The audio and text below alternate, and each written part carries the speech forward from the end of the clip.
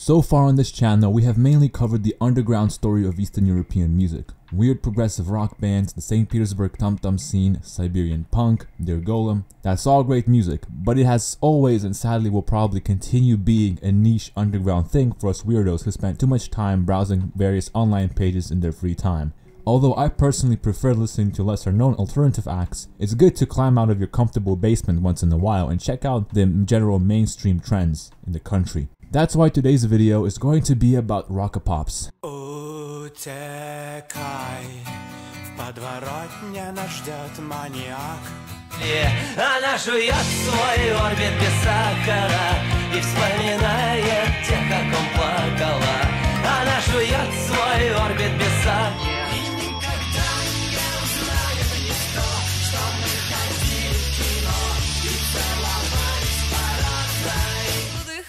Задыхаюсь от нежности, от твоей моей свежести. Я помню все твои трещинки, а, пою твои мои песенки. What is Rockapops, you might ask? Rockapops is what happens when you combine Russia's unhealthy obsession with British culture, twee soft boy aesthetics, and you dump it all in Russia's post-Soviet Wild East environment, which was the 1990s. How did this weird word that is barely a genre capture the feel and culture of late 90s Russia and early 2000s? Why was this at first seemingly harmless music fad so hated and loved at the same time? That's what I will be trying to find out today in the newest installment of the Eastern Archives.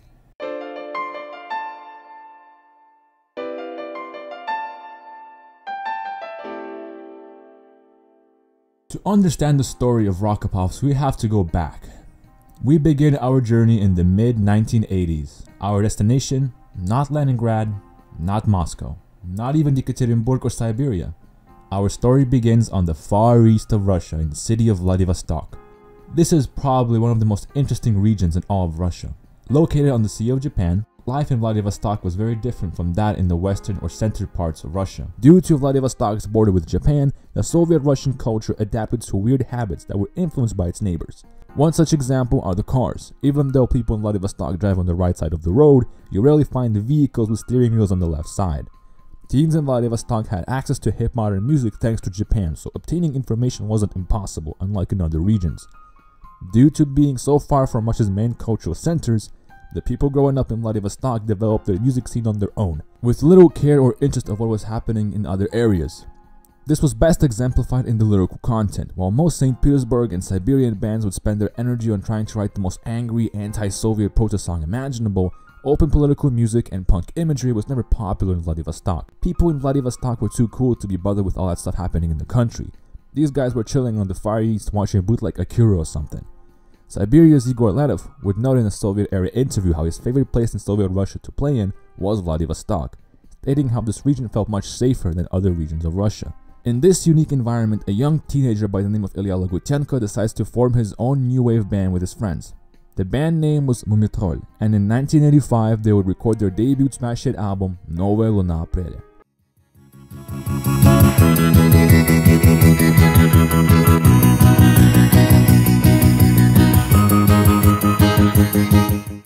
Well, smash hit in their hometown of Vladivostok that is. The album didn't spread across the country like crazy or anything. However, somehow it was heard by Artemy Troitsky, who even put the young band in his book back in the USSR.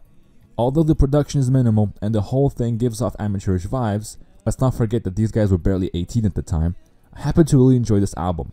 It's a fun, pleasant minimal wave album that was indeed doing its own thing.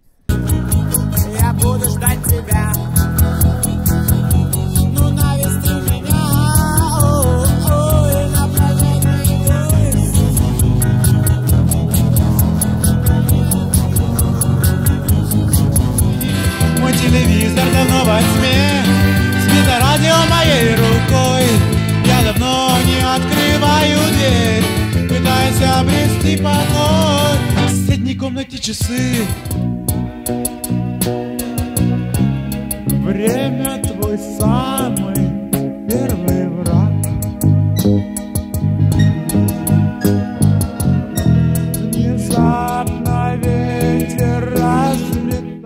Most Soviet minimal wave was either some dark artsy concept piece or poetic recitings over cheesy Casio keys. Novaya Luna Preli on the other hand is minimal wave with gleeful twee vibes that demonstrated Lagutenko's talents for straightforward catchy pop songwriting.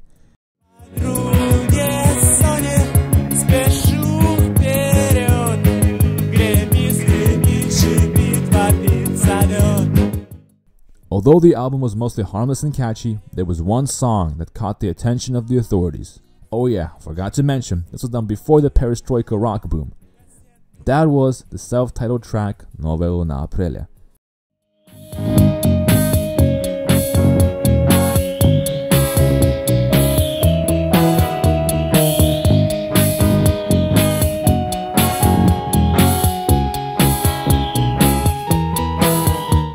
Some people interpreted the lyrics as a sort of pessimistic outlook on Gorbachev's perestroika reforms, and that resulted in Mumiy Troll having secret services get interested in the band's repertoire.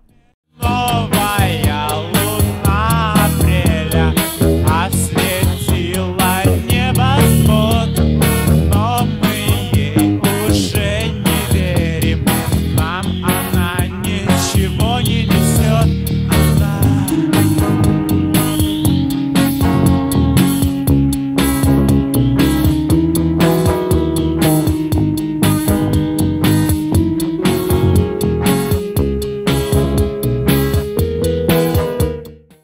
just so happened that very shortly after all this controversy, Lagutenko and his band members got calls to get drafted in the army, and the band's music career had to come to a stop.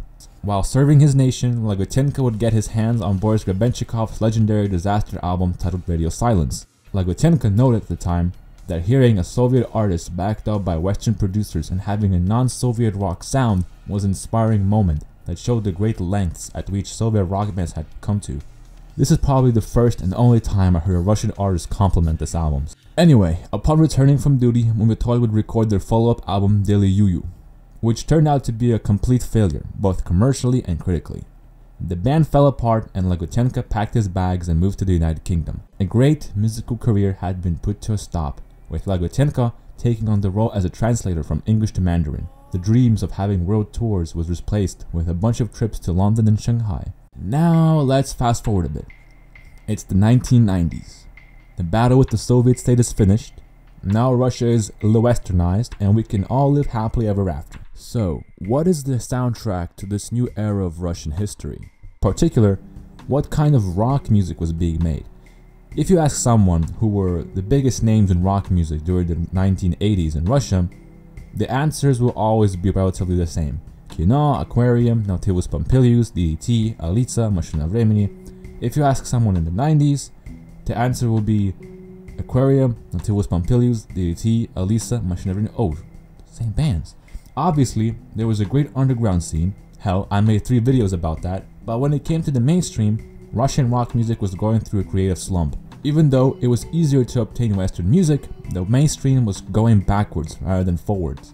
You'd think there would be an explosion in mainstream grunge, Manchester, or college rock as in the West, but no. Instead, we have the mainstream rock space filled with dudes who, at best, turn to making sappy alternative arena rock such as U2, and at worst, regress to cringy blues rock. The closest we have gotten to something hip in early 90s Russia was Agatha Christie, and even that was very 80s influenced. The early to mid 90s in Russia was a time when basically anything could go mainstream, as long as it was fun and quirky. Weirdo acid rap, bam, there you go, have some Mr. Malloy.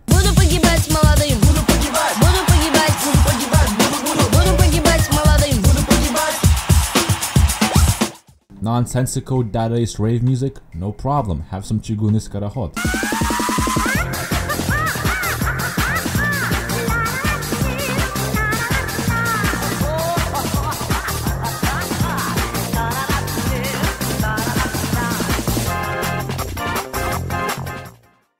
artsy girl bands, you have Kolibri on mainstream Russian pop radio.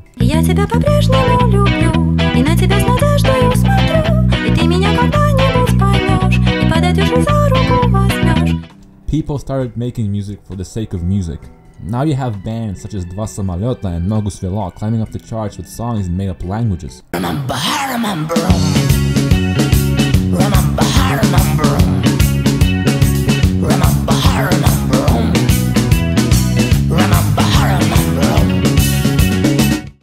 Trend was clear. People are tired of Soviet rock's depressing connotations and are in great need of a new sound. Now, let's go back to Lagutenko. Besides trips to the UK and China, Lagutenko had the habit of flying to Moscow and St. Petersburg to visit the local clubs and restaurants. During Lagutenko's visit to the Tabula Rasa club in 1996, he accidentally met his old friend from Vladivostok by the name of Leonid Burlakov. For context, Mumiy Troll used a lot of his poems as lyrics for the debut album. The two were happy to meet each other, and so they sat down to talk about how their life was going in the 90s. Burlakov was now a moderately successful entrepreneur in Vladivostok. He was an owner of a big music shop that sold various Western records. The conversation was really pleasant, and at some point the two decided that it would be a great idea to start Mumiy Troll again. Lagutenko said that he had written some drafts for possible new songs during his travels, and Burlakov said that he was interested in working as a producer.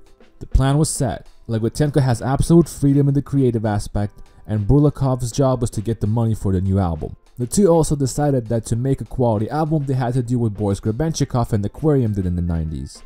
By that, I mean recording an album in the United Kingdom.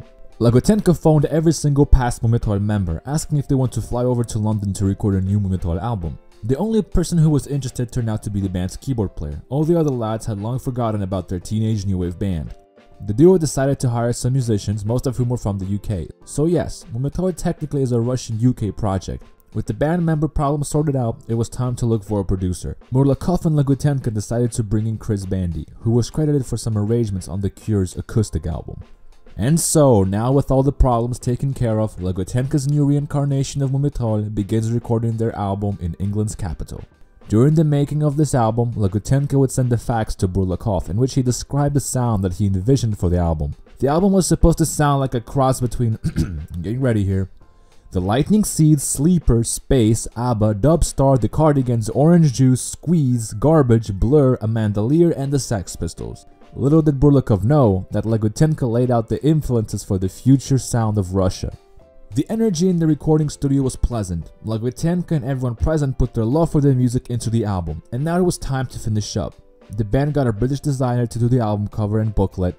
Mumiy Troll, a relatively unknown Soviet band from Vladivostok, just finished one of the most legendary albums of the decade, and they didn't even know it. Burlakov and Lagutenko had now finished an album, but who is willing to buy it? Mumiy Troll was never really that big of a band to begin with, and now they have to come back after almost 10 years of dead silence. The two got in contact with Alexander Kushnir, legendary Soviet punk journalist who some of you might know as the author of the book 100 Magnet Albums of Soviet Rock. Kushnir liked Mumiy Troll's sound and tried to help the band by getting them to perform a concert on the Moskvy radio show.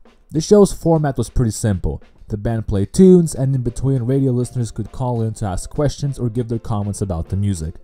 Moskvy's audience didn't like Mumiy Troll's music one bit. Practically every caller would call in to criticize the band's sound, and especially the lyrics, which were too abstract and not sharp enough for the Russian audience. How wrong they all were. Along with a failed radio appearance, Burlakov would send out copies of the new album to various big and small indie labels in Moscow, including the legendary Filial Records. The result was negative. Not a single label wanted to pick up the album. Some simply didn't like the music. Others didn't see a potential format for the certain type of sound. It wasn't appealing to the indie crowd. It wasn't sugary enough for the pop people either.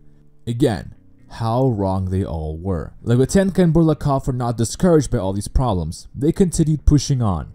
Burlakov decided to make a small EP that consisted of five songs off the album. Alone, he went to one of Moscow's biggest markets in the 90s called the Gorbushka, and he started handing out the EP for free to literally everyone who was passing by. So basically, Mumiy Troll was the check out my mixtape guy at some point.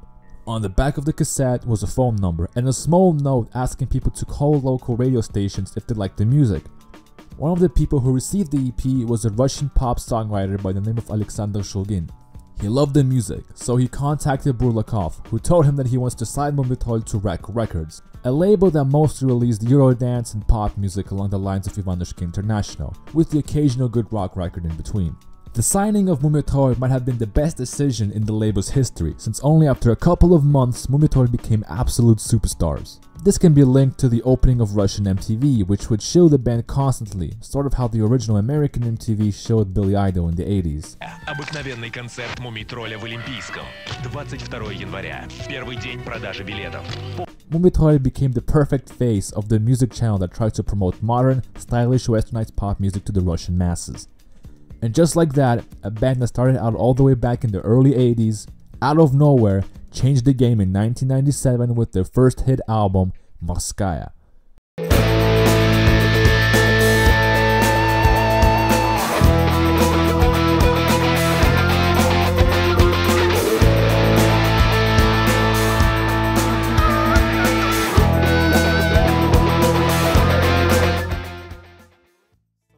How big was Mumiy Troll? thanks to Morskaya? We're talking about a bunch of awards, titles such as Album of the Year and Song of the Year from various Russian music magazines. This includes both pop, alternative, and mainstream rock ones.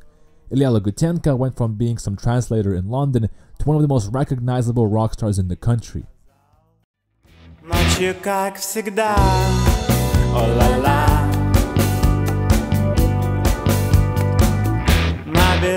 Волна Okay, it was a big album, but how big exactly? 13 years after Morskaya's release, Afisha magazine, sort of like the Russian Pitchfork, would name Morskaya the greatest Russian album of all time. So yes, according to a group of Russian journalists, Mumiy Troll's Morskaya outdid everyone's favorite Kino, Aquarium, Auktyon, and Leather albums. Now, I would not go that far, but the album is very iconic and memorable indeed.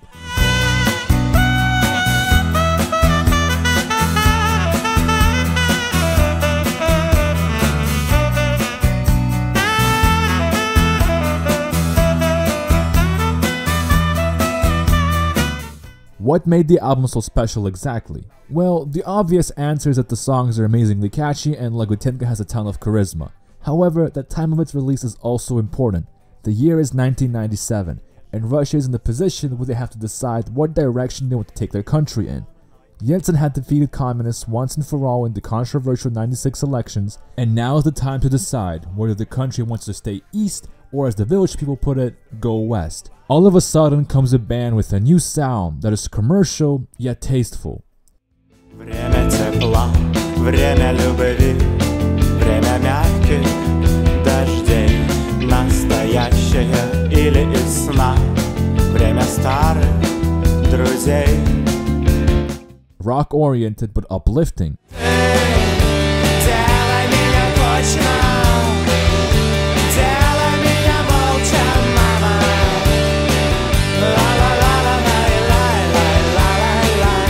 and completely devoid of the pretentious nature of the bands that came beforehand. Here is a band that can write love ballads for the girls that aren't sappy.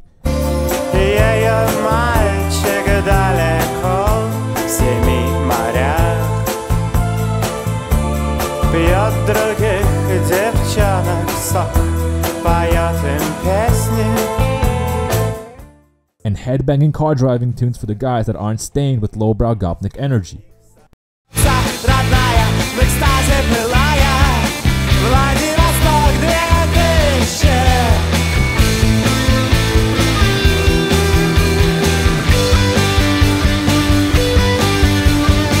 Music fans could appreciate the melting pot of influences. Normal people found their go to album for social gatherings and drinking pastimes.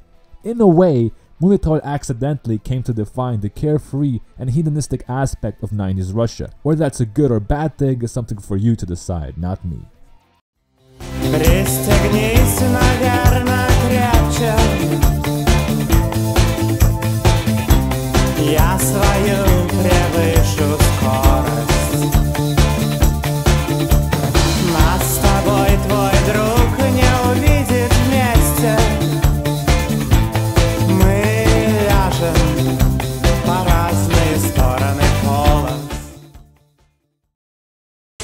Илюша, это бабеллы с твоего замечательного альбома «Морская».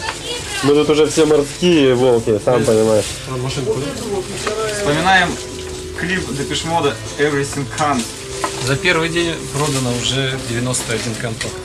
Это в 4 раза больше, чем было продано группы Depeche Mode в первый день в нашем магазине. это в 9 раз больше, чем было продано группы Агата Кристи. Ты деньги И снимаешь. это в 6 раз больше, чем было продано Nautilus Pompilius. И три раза больше, чем группа Metallica. Although Mumiy Troll had a big cult following, and many artists praised the band, for example Alexander Lipnitsky of Zvuki Mu fame, Mumiy Troll also faced a ton of backlash. One of Russia's biggest pop producers by the name of Max Fadeev would criticize the band's sound, calling it old-fashioned and claiming that their UK production didn't differ much from the Russian. Plethora of Soviet old heads such as Yuri Shevchuk and Mikhail Barzykin went on record as not understanding what the hype was about. And of course, you had Igor Letov who name dropped Mumiy Troll as an example of a band that he is spiritually against, or something like that, you know, it's Letov talk. One common criticism, however, was the sugary pop commercial sound of the album. Mumiy Troll quickly became one of the biggest talks of the country, with everybody having an opinion about Lagutenko's lack of underground cred and other stuff like that. Although for the Western ear, Mumiy Troll's music is obviously influenced by the Britpop sound of the time, what would you expect from a Russian living in London? The clueless Russian journalist had no idea what to call this sort of sound. At one point, when Lagutenko was asked to name the genre his band played, he jokingly answered Rockapops, a synthesis of the word rock and a Russian derogative term for pop music, pops or popsa.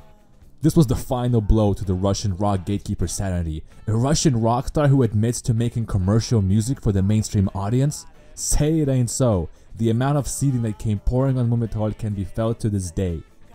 I like to think of Mumiy Troll as a sort of a Russian rock answer to what New Wave was to punk in the West. Lagutenko came from the underground, but he had no interest in being another cult hero, Vasily Shumov clone number 29. Why spend your energy always hating on things and being super depressing and political when we can have fun in the 90s? Although Mumiy Troll never said that openly, that's basically the vibe a lot of people got from them, which resulted in a lot of hate and love at the same time. With Mumiy Troll's success, Russian labels started picking up more soft alternative rock acts. The gates were now open, and a wave of fresh rock pop's blood started pouring onto the mainstream TV channels and radio stations.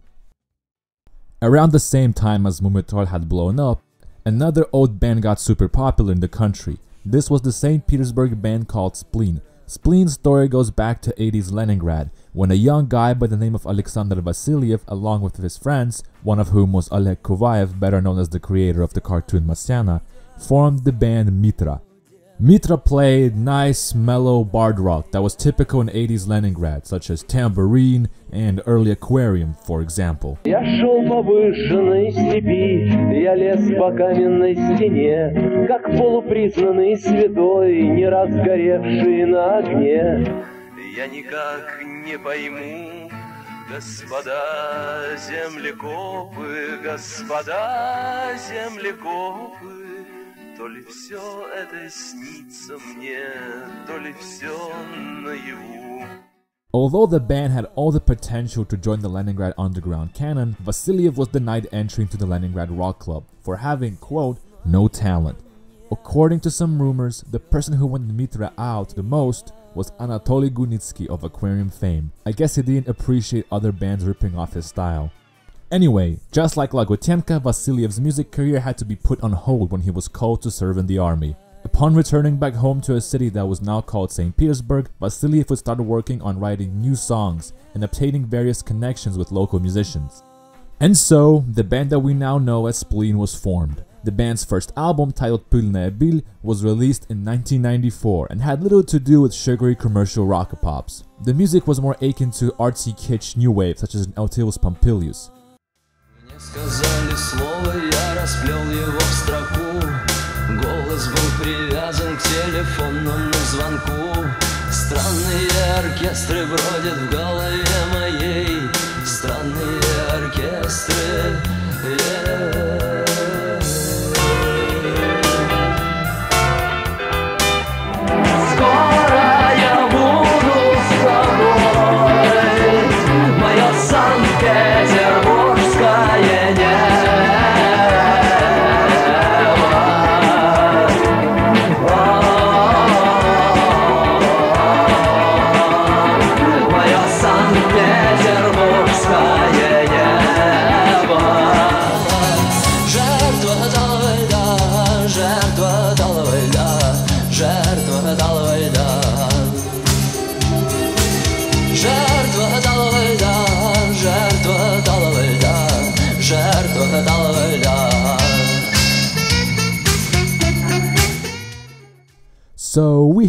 nice traditional light-hearted Russian new wave band. Where do you go to perform your music? Well, obviously you go to Tam Tam. You know the club which specialized in post-hardcore and was constantly raided by cops? Yeah, I think Spleen fits in just fine. Chimera, Tequila Jazz, Мертвые Hippie, and Spleen. In 1996, Spleen would release their follow-up album titled Коллекционер оружия. This album was more successful than their debut, perhaps due to the band changing the style around to something more guitar-based and less 80s. Or it may be due to the fact that the band performed at one of the biggest festivals of the year called Наполним небо добротой.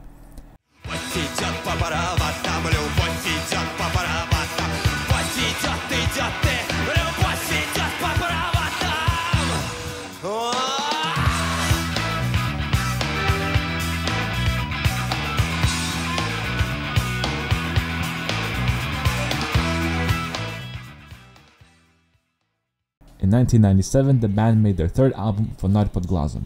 Pretty solid alternative rock release right here. Самый первый снег, самый первый снег,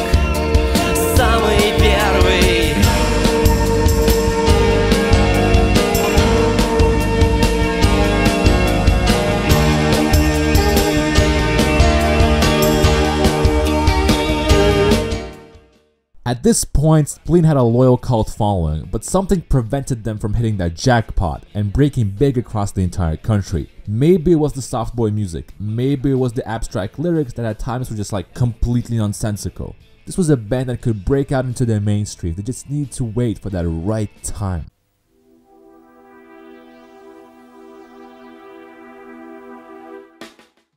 In 1998, the band's fourth record, Granatowy Album, was released and it was one of the biggest albums of the year. That's right, the time had come. Spleen had perfectly checked off all the check marks for rock and pop stardom.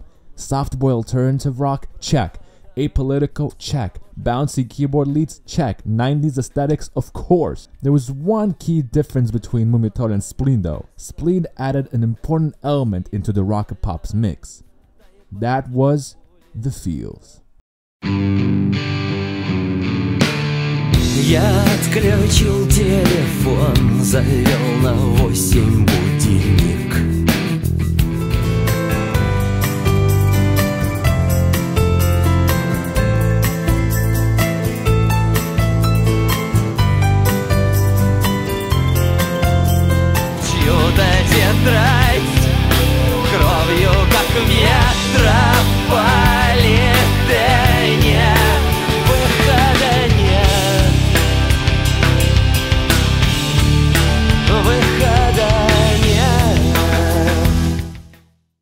If Morskaya was the Russian Parklife or different class, Granatowy Album was certainly the band's. Spleen always had a more minor tone. They weren't your average rock pops clowns prancing on the stage. They were the intellectuals. I mean, what else would you expect from a St. Petersburg band?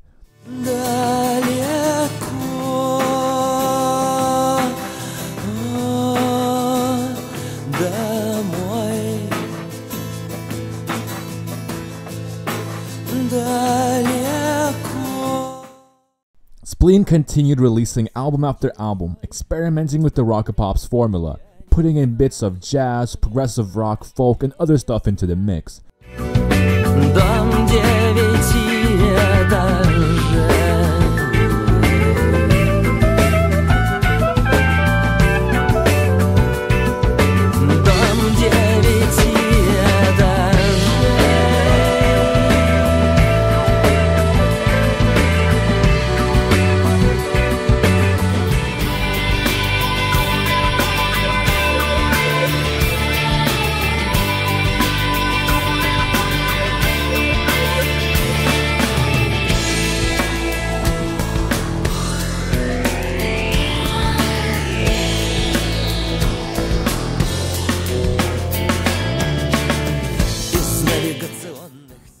This making Spleen one of the few rock pop's bands which is kind of acceptable to like. At least Grebenshchikov was a fan. One of the most talented bands which I consider to be a part of the rock pop subgenre was Begemoth, also from St. Petersburg. I have to mention though that Begemoth tried to distance themselves away from this tag, instead calling their music Pete Pop. No comments. Despite being super talented and all honestly better than 90% of the bands covered in today's video, Begemoth never made it out of SPB hood and remains to be a local underground phenomenon.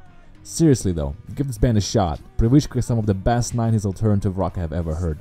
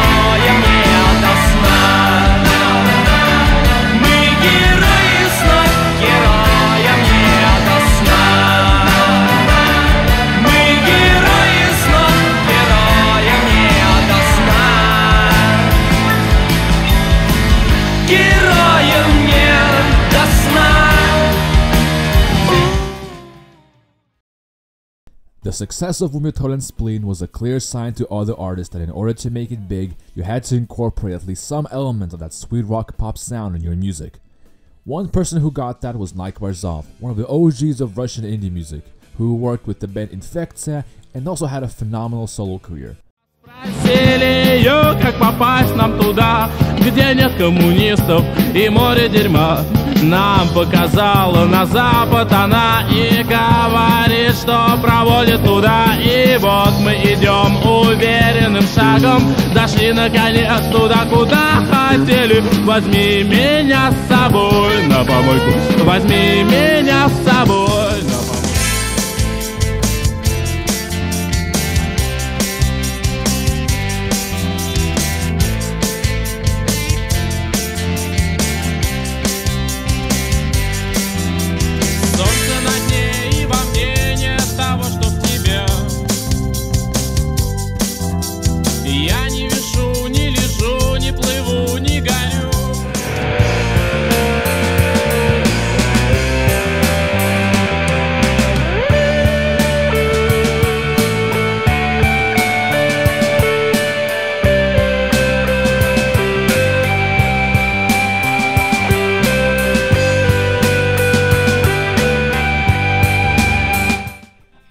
albums that garnered a moderate amount of success, Borzov, just like Metal, fell into the hands of the MTV PR machine, and became a poster child for the Russian youth with his hit record Superman. Quite possibly the best rock pops album of all time, the white pony of rock pops. Nike Borzov delivered a more stripped back approach with less sense and gloss but more feel and a bigger influence from the American indie sound. Туча, как предвестник ночи, словно призрак тамагочи, Влезла в окно. Бардак в моей голове, А мне все равно. Верхом на звезде Над лесом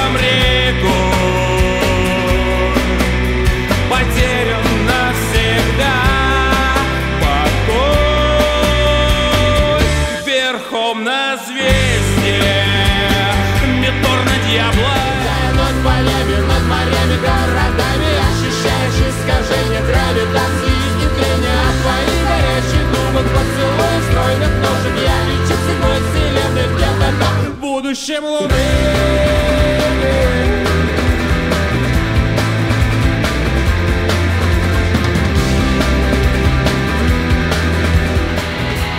Но достав револьвер, ты сказала прощай Своей нежной рукой. Ты открыла мне рай. Я сидел и молчал Немного скучал Ты достала ключи Сказала прости Ты хлопнув blurring the lines between sincerity and humor, with various songs being able to hit you in a different way depending on your mood, Nike Borzov crafted an absolute masterpiece. If Mumiy Troll appealed to the normies and Spleen to the people with the I'm not like the other syndrome, Nike's laid back nature, humorous personality, and indie background quickly made him the hero of the slacker youth.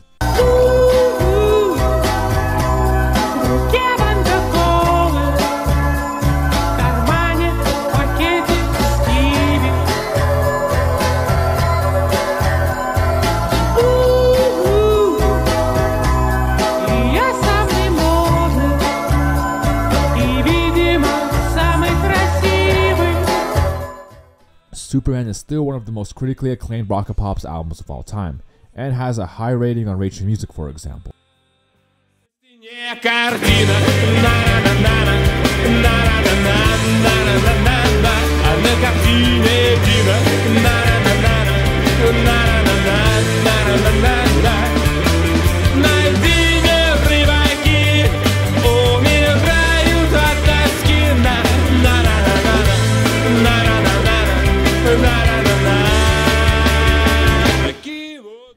By now, I think it's time we introduce some of the main characters in this whole story.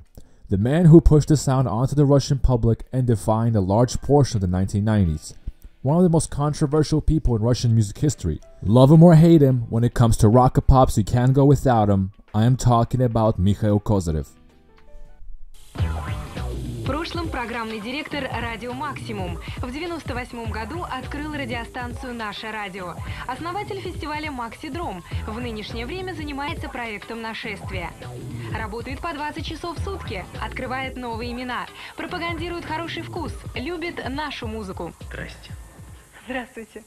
Михаил, вы первое лицо популярной московской радиостанции «Наше радио». Какая музыка звучит у вас в эфире? Мы играем много разных направлений в музыке, и э, даже не только русскоязычные песни. У нас звучат песни на украинском языке, на молдавском языке, на э, самых разных пару языках, но вот э, именно самое главное, самое ключевое, то, что мы заявляем в начале каждого часа, это самая богатая коллекция рок-н-ролла. Kozyrev was born in Yekaterinburg and got an education as a medic. In the early 90s, he was in a relationship with an American girl named Kimberly, who asked Kozyrev to move to the States with her, and so Kozyrev started saving up money to move. Jan Kozyrev was accepted into Pomona College, where his girlfriend was studying at the time. While studying in California, Kozyrev had two things happen to him.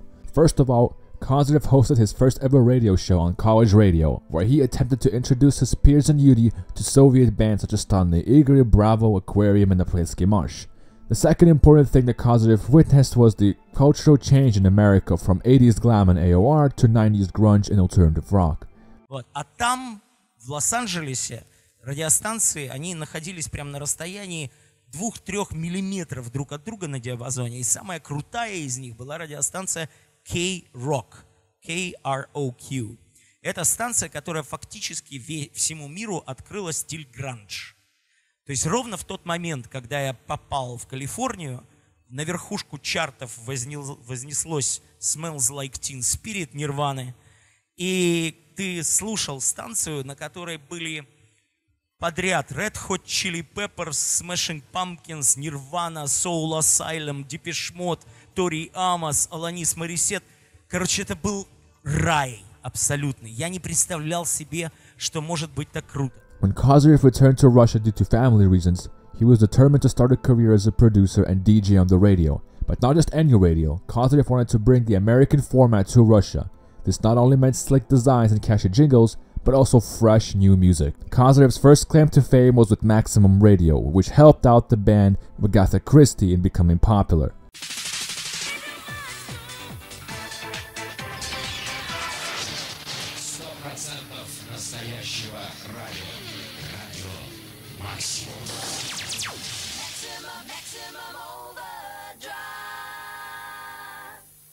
But Kozyrev's biggest claim to fame happened later with the creation of Nasha Radio. Depending on who you ask, the station was a god set that helped revive rock music in the country or the devil reincarnated that almost killed it. The station's idea was fairly simple demonstrate the best rock music that the country has to offer on a major scale. Although nowadays the station is synonymous with being the most stale, conservative, and boring station on the planet, Back in its early years, Nasha Radio would promote some good bands such as Tequila Jazz, Billy's Band, and Nogu Svelo, for example. Although Causative still played some songs from old bands to garner listeners, the band had envisioned a new European sound for the country, which was, you guessed it, rockapops. Spleen, Mumiy Troll, Nike Borzov, these were all artists that in part got popular thanks to Nasha Radio. In 1996, 1997, году в появляется – появляется Мумий Тролль, значит, и вообще формат добавляет в себя вот эту новую линию русской альтернативной музыки. Kozyrev would create the soundtrack and other media platforms would follow. Kozyrev likes your band? Congratulations, have yourself a hit song. Kozyrev doesn't like your band? You are left stuck in the underground. Назови мне, ну, можешь три, можешь меньше, можешь больше, групп, которых, о которых ты жалеешь, что в свое время ты им отказал в нашем радио. Ага. Вопрос задан с Нет, я крайне- не подбираюсь... со э, скрытым подтекстом. Я не подбираюсь к гражданской обороне, кроме гражданской обороны. Это хороший вопрос, потому что на него сложно ответить.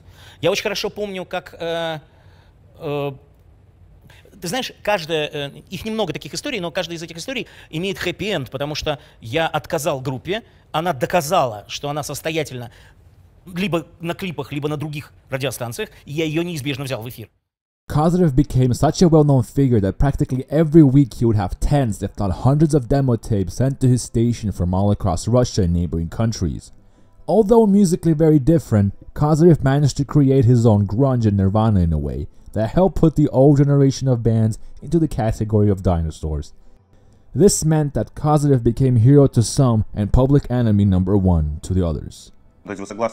Частым таким выражением, что 90-е русскому року дали только Земфир и Мумитроль, все, в принципе. Я считаю, что нет, в 90-е было еще несколько хороших групп, но они совершенно не позиционировали себя как, э, как русский рок, и, кстати говоря, были не слишком востребованы на нашем радио и фестивале «Нашествие». Я имею в виду, скажем, такие, ну, из, из известных, скажем, это группа «Мегаполис» до сих пор прекрасно существующая. Я думаю, если бы их назвали русским роком, Нестеров бы просто передернуло. Это какие-то авангардные группы, скажем, э, «Собаки табака» московские, «Химера» питерская. Такие были. На самом деле у нас были очень интересные группы в 90-е годы, но их вообще не водилось на этом тоскливейшем, позорнейшем нашем радио. Наше радио, оно сгубило русский рок своим форматом. О чем вы говорите? Anyway, as I already mentioned, in roughly about three years, Rockapops became all the rave in the Eastern Bloc, and that trend exceeded beyond St. Petersburg, Moscow, and Russia in general. From Ukraine, there was Okean Elzy, one of Kozyrev's proudest achievements when it came to helping out bands. Okean Elzy brought a powerful anthemic arena rock feel to Rockapops, mostly thanks to the recognizable and powerful voice of Svyatoslav Vakarchuk. Забути те, чого нема. Скажи мені, чому не можу забути те, що, те, що навколо зима.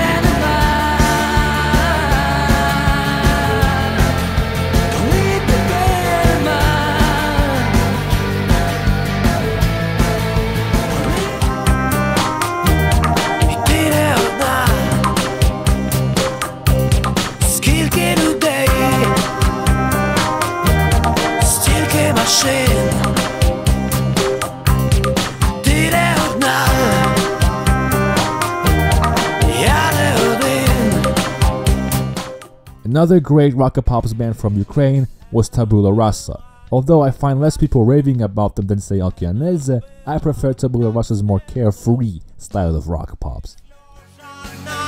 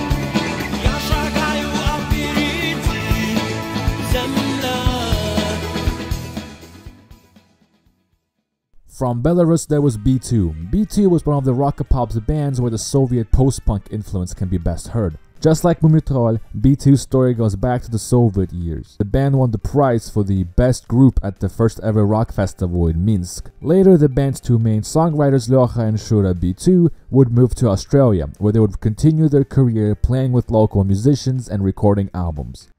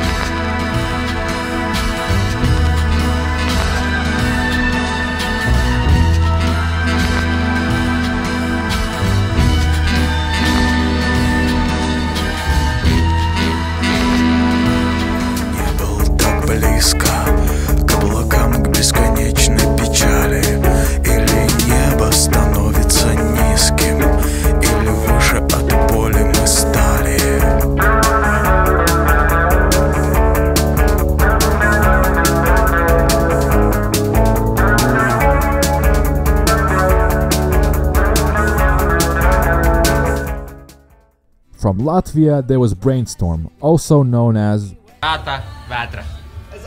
Brainstorm was one of the best bands to be lumped in with the Rockapops fad, and probably one of the closest to the original UK sound. Also, it's important to know that Brainstorm was actually playing this kind of music before Mumiy Troll, but their major claim to fame, that being outside of Latvia at least, happened later in the decade. Ain't sometimes we wanna get our way. Molly tea, aluminum spoon, evening dances under the moon. Downtown, I feel your heartbeat. Smile now, it's all that I need. When I I envy them, they never lose, cause they have a choice not to choose. I can see, I feel two skies above. In the meanwhile, as Kozyrev was pushing the Rockapop sound to the masses, the godfathers of Rockapops, Mumiy Troll, had already released their follow-up record Ikra in the same year as Morskaya.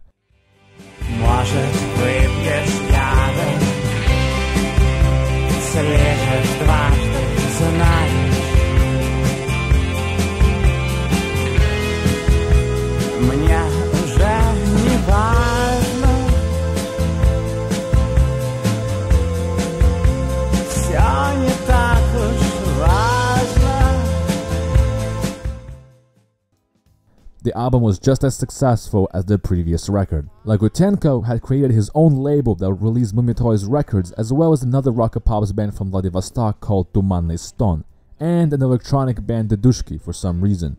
The band would also record a single for a New Year's because Russians don't do Christmas like that and perform a concert in Japan, a country that Lagutenko would spend a lot of time in. While Lagutenko lived out his inner weeaboo dreams, Mumiy Troll's band members were called to help out an up-and-coming singer from Ufa. Her name? Zemfira.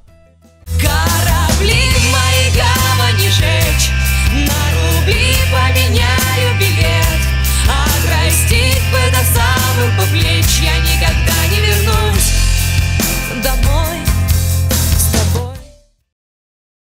Soon to be one of the most well-known female artists in Russian music history, Zemfira started her musical career on a local radio in Ufa, doing jingles and that sort of stuff.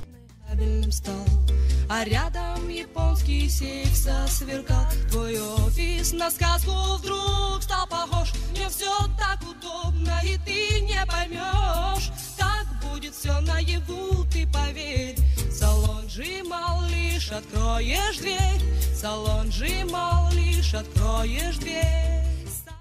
Zemfira had completed education as a jazz vocalist, and having her talents be wasted on some unknown radio station in the Republic of Bashkortostan was not the way to go.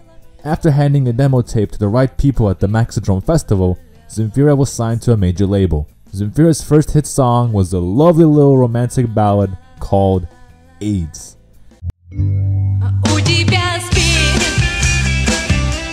У тебя спит И значит мы умрем У тебя спит И значит мы умрем Но у тебя спит И значит мы умрем A song that best fit a soundtrack to the imaginary Russian adaptation of Kids. The song immediately blew up due to the taboo nature of the lyrics, but also due to the mystery. Who is this singer that just came out of nowhere singing about AIDS? Unlike the peaceful, happy-go-lucky rock-a-pop's peers, Zemfira stood out for her attitude. Despite working with members of Mumiy Troll, Zemfira publicly expressed her dislike for the band's hit album Morskaya, calling it stupid, and not being afraid to show her disinterest or even mock certain aspects of Russian show business and that sort of stuff. This is best exemplified in Zemfira's performance at the cult TV show Anthropologia, where the young singer-songwriter would step into open conflict with the callers on the show. In an era when most Russian female singers were either part of the trashy Eurodance clique or playing the role of the modern artsy chick, having an average girl with a guitar come in and deliver songs with attitude was a breath of fresh air and something that the Russian public started eating up immediately. A gigantic brand of Zemfira clones started popping up out of nowhere. A new version of Zemfira appears practically every few years. However, as you could probably guess, nothing beats the original.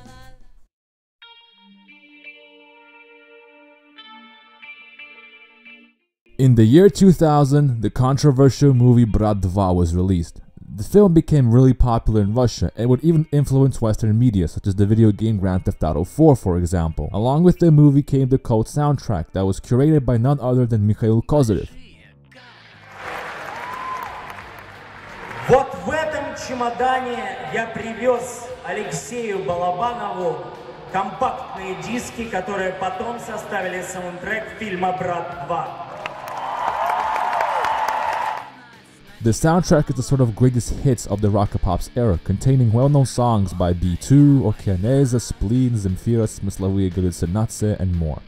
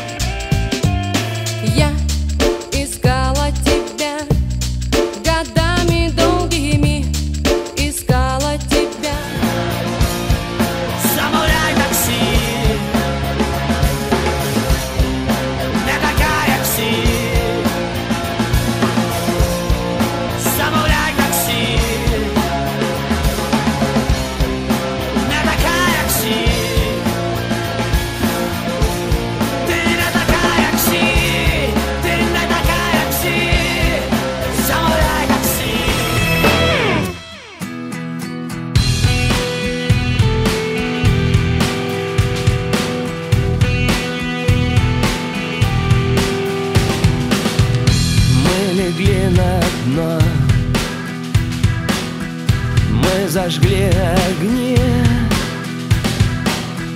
Во вселенной только мы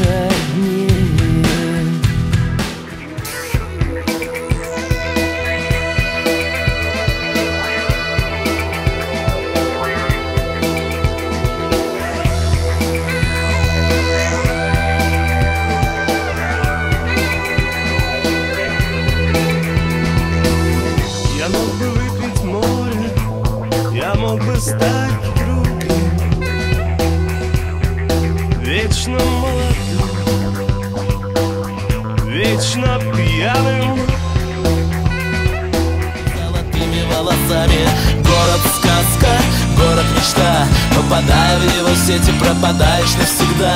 Глотая его воздух, простуды сквозняков Запахом бензина и дорогих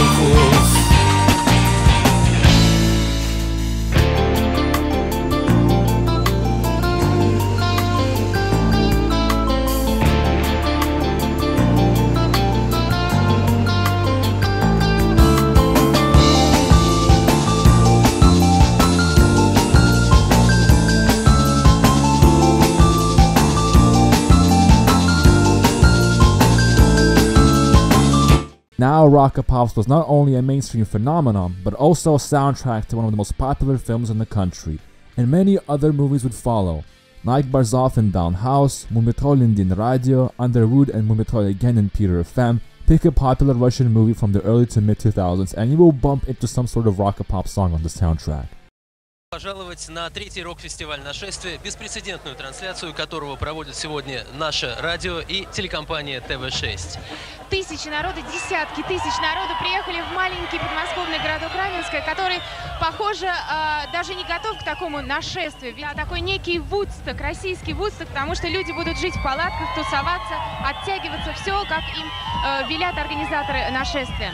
А нашествие – это фестиваль, который позволяет выступить здесь не только звездам, не правда ли, Гриша? Но и а, совершенно новым группам, которых не знает никто э, или которых знают немногие, но которые имеют право быть на этой сцене. Around the same time as Brat 2 came out, Kozyrev would organize the Nashestvie Festival, which hosted a lot of the rising stars in the rock pop genre. There were hundreds of these sort of bands, as I already mentioned, and talking about them in great detail would extend the video to another couple hours. So here's a small list of the few rock pop bands that I think might be of possible interest. From St. Petersburg, there was Multfilmy, one of the quintessential rock pop bands that had a bigger rock edge than the others. Операторы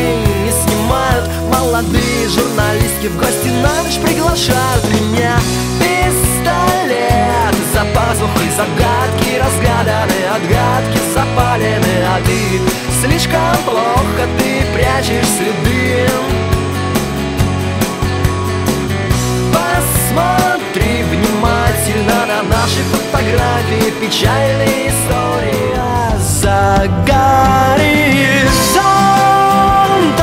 Мечтания на краю мироздания За пределом сознания. Я открываю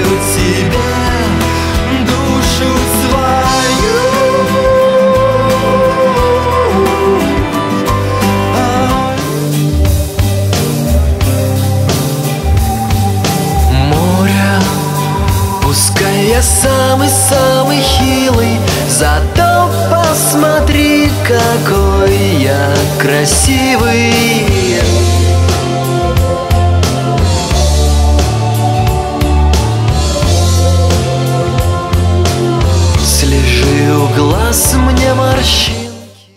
One of the classic and most remembered rock pop's albums of all time was Nipsich by the band Torba-na-Kruche, probably the softest of soft boy bands at the time.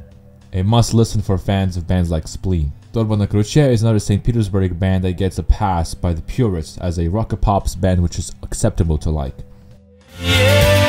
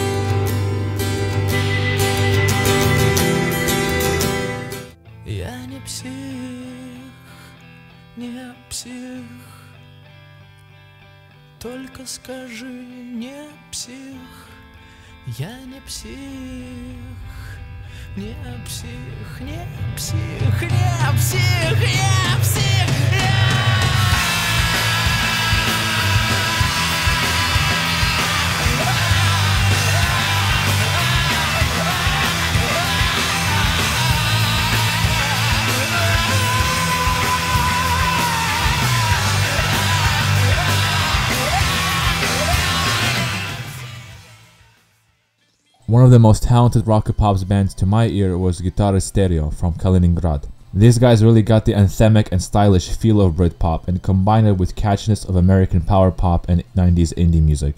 Better than many of their peers from the capital, must I say. Даже звездам не хватает витаминов, когда целые сказки пролетают мимо. Незнакомая студентка в магазине, ты получишь меня и снова станешь невинной. А-а-а. А-а-а. Эти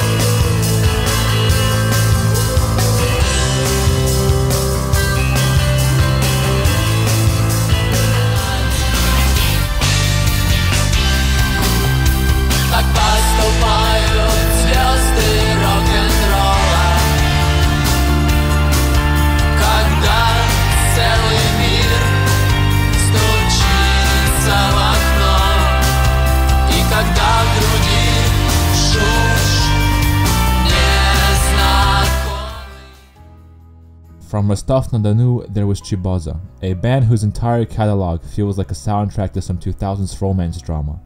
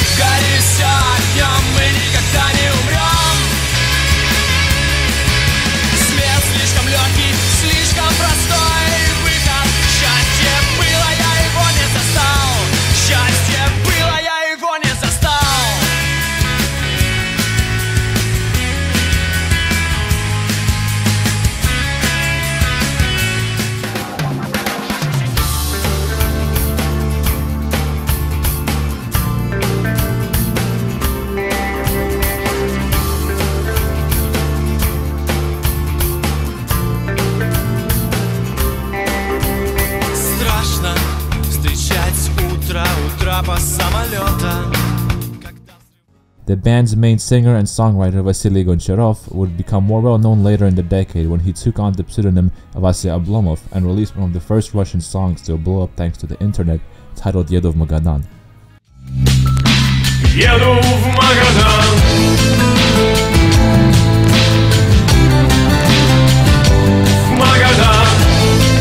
Братан, а кто это поет, а? Еду в Perhaps the most musically interesting and original band from the rock pop scene, however, was the St. Petersburg band Polusa. The band included elements of light prog and alternative rock in their sound. The music feels less like a Mumiy Troll or Oasis clone, but more like a look into an alternative reality where Tequilajazzz decided it was time to go mainstream. Юная, счастливая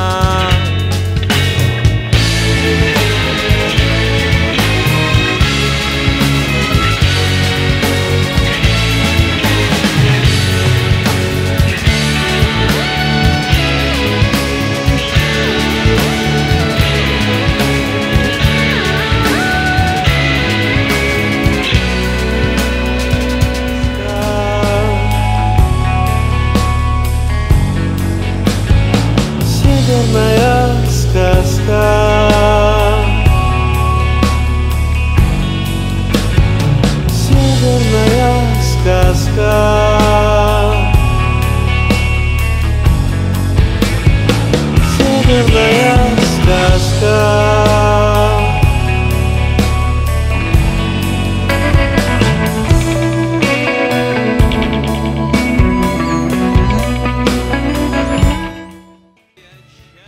The band's debut album, Poesia, is one of the crowning achievements of Rockapops in my humble opinion.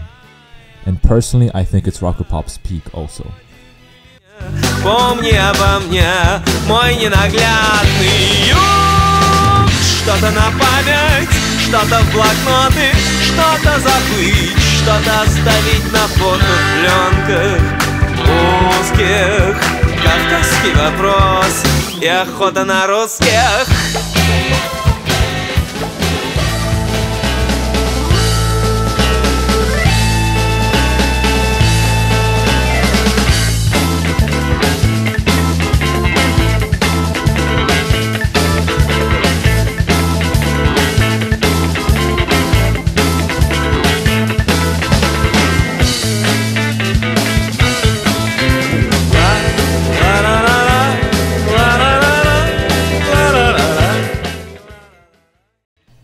great band, which elevated the rock pop genre, however, is mostly remembered as a one hit wonder who did a song with Tattoo. As the older bands released a new album, 30 new copycats emerged every minute. It seemed like Rockapops was here to stay, but at last everything has to come to an end. If I had to place a marker at which exact time did Rocket Pop start falling off, it would probably be between 2004 and 2005. Mumiy Troll and Spleen was a great breath of fresh air. Multfilmy Polusai and Cheboza was a great addition also, but by the time you had bands such as Zveri and Bratya Grimm coming out, it was clear that rocket pop's fatigue is unavoidable.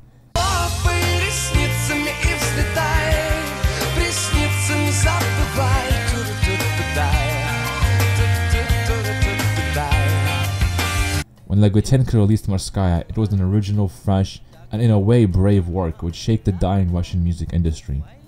By the time Korny was putting out its records, this music became stale and boring, with nothing new to offer besides delivering mindless disposable pop songs about nothing. If this sort of distancing away from politics and realism was in high demand during the 90s and early 2000s, by the time that the mid and late 2000s rolled around, the art and culture was shifting in a completely different direction.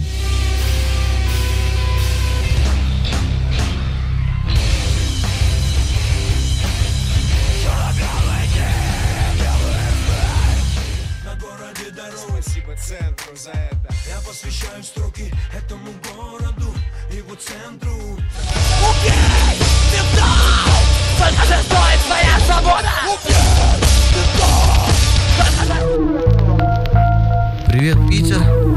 Привет всем. Группа Контейнер зашлет вам привет.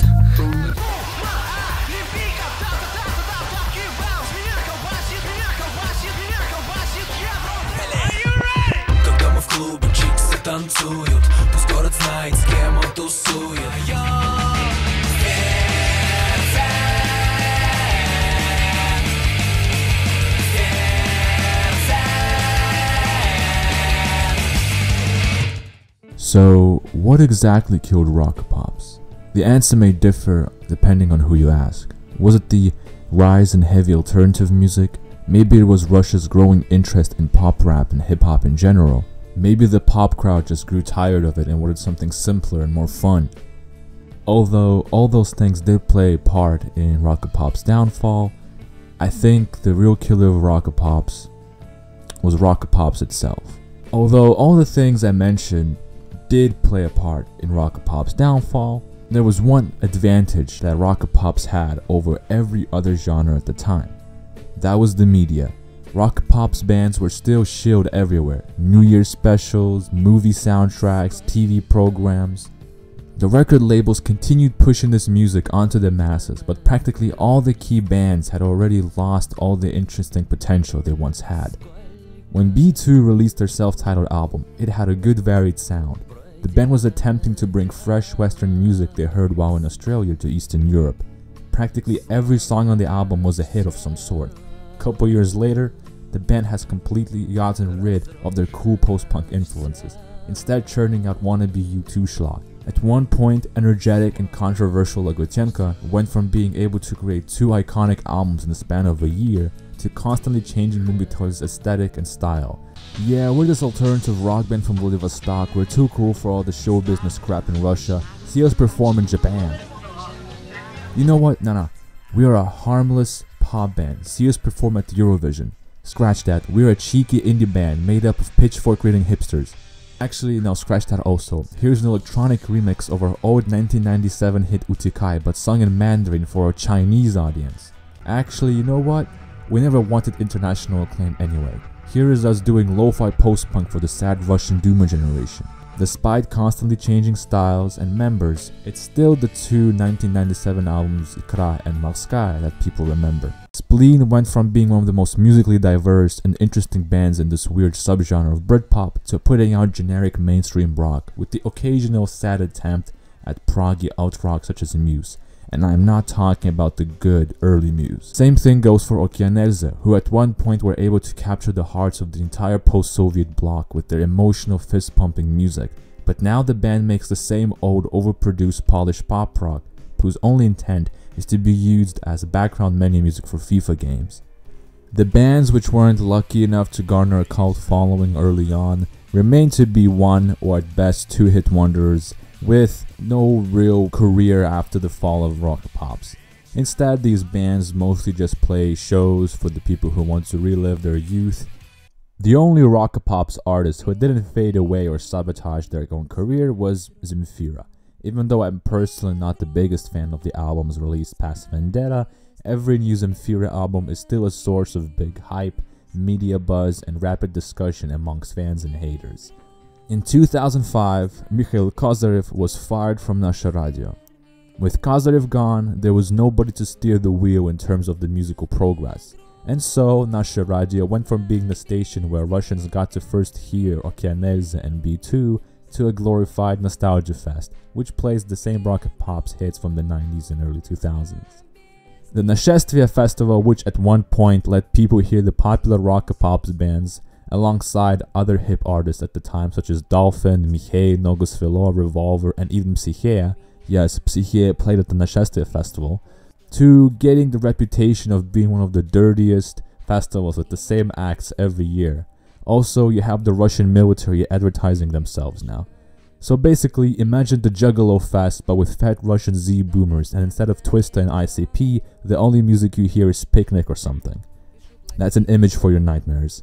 With Kozyrev gone and most of the bands taking a step back in terms of creating interesting music, Rockapops quickly got overshadowed by new and better genres. Rockapops went from a new hip genre to a big punching bag. Nasha Radio and the Nashestvie Festival became a thing of mockery, with everyone making jokes about it. На периферии наше радио так рвется сделать с нами интервью. Мне поразительно, а в чем прикол тогда? Мы, мы как бы Кто здесь? Мы диссиденты на вашем радио. Поэтому я буду об этом говорить. А что? Какое у меня должно быть настроение?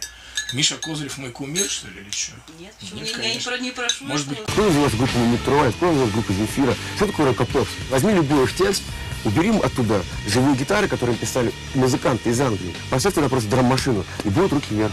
А эти-то еще, мы там рок, какой рок вообще? Сидели бы в Австралии, Би-2, короче. Ненавижу вообще это все говно. Я вот Мишу лично знаю. Он, э, у меня жена у него ассистентом на Серебряном дожде и на дожде работал. Он очень приятный человек. С отличным муз- музыкальным вкусом на импортную музыку. Вот что касается отечественной музыки. And that's pretty much the end of the story. Whether you love rocket pops or hate it, it's an important part of Russian music history. Not just Russian music history, but the entire post-Soviet bloc really. For us, it's quite an interesting experiment because it was basically the first time when Russian rock music got separated into the category of mainstream commercial rock and the underground non-commercial rock, with rock pops obviously being the commercial side. Although currently rock pops is still in the category of uncool, maybe in a couple of decades it's gonna get some sort of reappraisal. The same way Soviet synth pop and new wave got popular again even though it was also deemed uncool for some time. You never know really. Maybe now's the time to blow the dust off your Multfilmy album. Please leave a like if you enjoyed the video, subscribe for more Eastern Bloc music content, and share the videos with others. Leave a comment with your take on Rockapops. Do you love it? Do you hate it? Is Nasha Radio the Antichrist? Just don't forget to join the Discord, okay? For those people who are only interested in the underground gems, you know, the ones where you can't even tell what is being done due to the poor Soviet tape quality, don't worry as I will be doing more deep cut videos later. So yeah, that's been the story of Rockapops. See you in the next video. Bye bye.